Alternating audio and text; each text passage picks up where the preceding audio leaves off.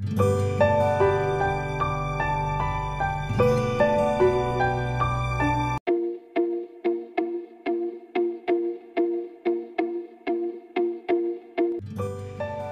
damos la bienvenida a todos mis seguidores y espero que les guste mi contenido. Aquí nos encontramos con nada más y nada menos que el pastel en hoja. Un adorno más en el plato de la cena de Navidad. Aquí vemos un caballero que está disfrutando del pastel en hoja. Ya sabemos que el pastel en hoja forma parte de la Navidad. Por lo tanto, usted lo puede ver en cualquier época del año, pero más a menudo lo vas a ver en la Navidad. En la cena de cada familia dominicana.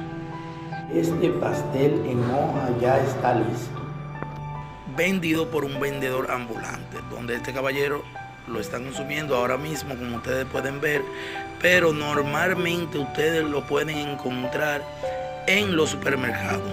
También puede hacerlo en su casa, ya que es un poquito complicado, pero queda a su gusto.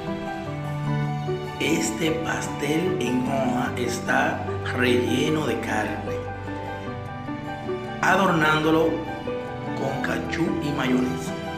En mi caso yo prefiero echarle un poco de picante, ya dándole un toque especial. Le invito a probar un poco de pastel en hoja. También le invito a que se suscriba y le dé a me gusta y comparta